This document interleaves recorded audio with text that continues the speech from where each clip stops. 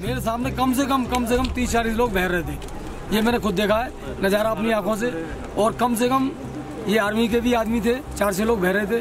और जो mobile point था और तीन लंगर थे वहाँ पे, तीनों बह गए।